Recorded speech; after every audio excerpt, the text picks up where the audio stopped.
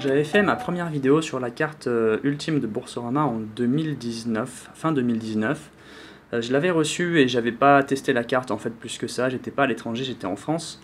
Euh, moi ce qui m'intéresse c'est la possibilité et les capacités de la carte à l'étranger. c'est pour ça que j'ai commandé cette carte ultime qui permet en fait de faire des paiements et des retraits à l'étranger sans frais et en illimité avec bien évidemment le plafond de la carte comme limite.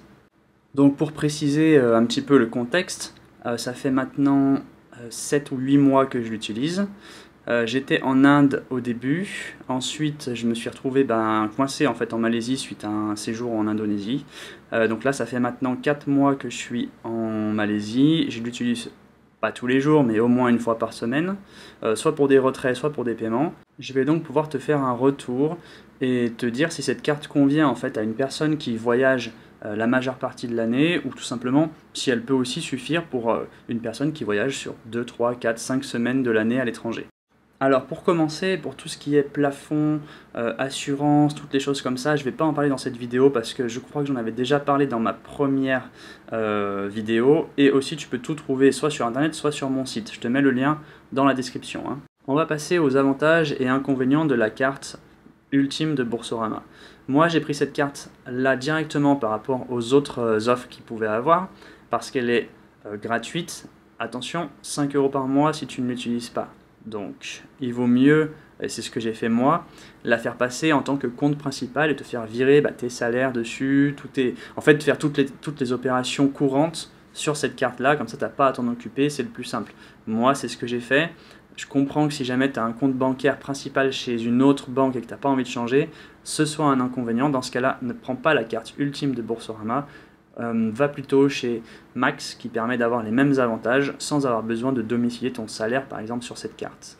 J'en reparlerai dans une autre vidéo parce que la carte Max c'est une carte que j'aime beaucoup et je la compare souvent avec les autres cartes que je teste. Par exemple, on peut comparer Boursorama et Max la carte Max a une application qui est un peu différente de celle de Ultime, euh, donc Ultime Boursorama.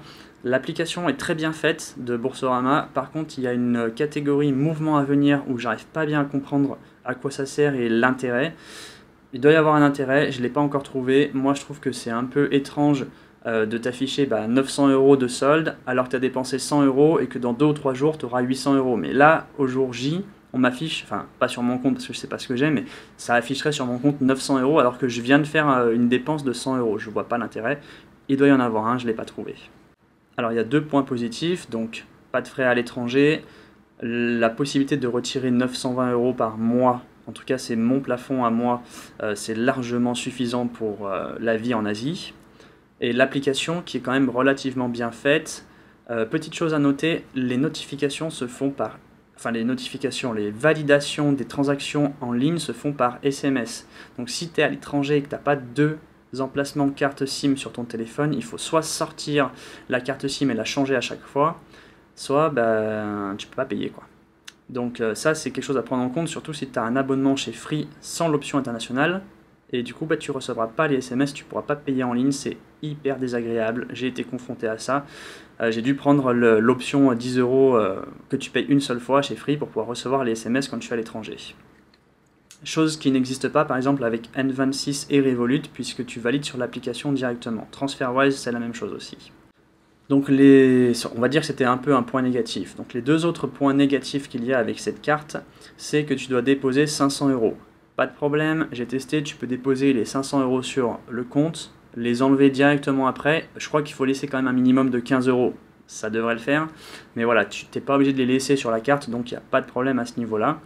Euh, par contre, attention, l'argent doit être déposé depuis le compte que tu as déclaré et pas un autre compte. Moi, j'avais viré l'argent avec un compte qui avait des sous, euh, mais c'était pas le compte que j'avais déclaré. Du coup, ça n'a pas marché, ça a été refusé, l'argent est revenu. J'ai dû la renvoyer sur le bon compte pour ensuite l'envoyer sur la carte euh, ultime. Ça a pris relativement longtemps. Enfin, ça m'a rajouté au moins deux semaines sur le process.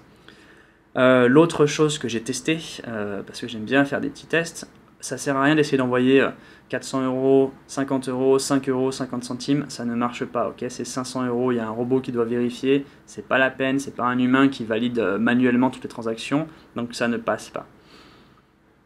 Cette question est revenue souvent hein, dans, dans mon article et dans l'autre vidéo. Voilà, il faut faire un dépôt de 500 euros, tu demandes à quelqu'un de ta famille de te les avancer, tu lui rends tout de suite après.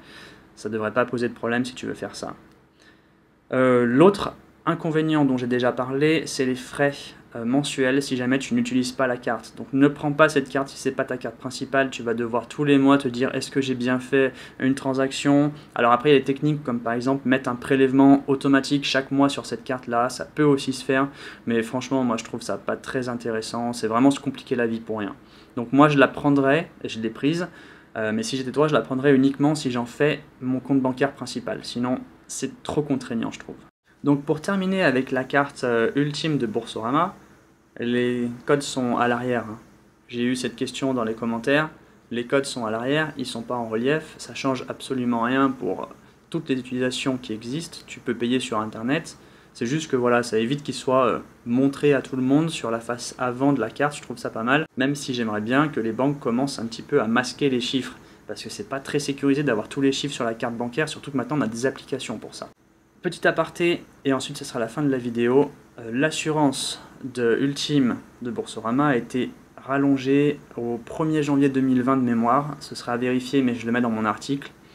Euh, elle a été rallongée et elle passe de 3 mois à 6 mois, donc 180 jours. Si tu es à l'étranger, tu es couvert, alors couvert selon les conditions de l'assurance, hein, bien évidemment, mais tu peux être rapatrié, par exemple, si tu as un membre de ta famille qui malheureusement décède pendant que tu es à l'étranger, pendant les six premiers mois de ton voyage, tu peux te faire rapatrier euh, aux frais de l'assurance. Donc c'est quand même relativement bien et pour moi c'est un gros gros plus par rapport aux autres cartes type Revolut, Max et toutes euh, les autres cartes qui existent.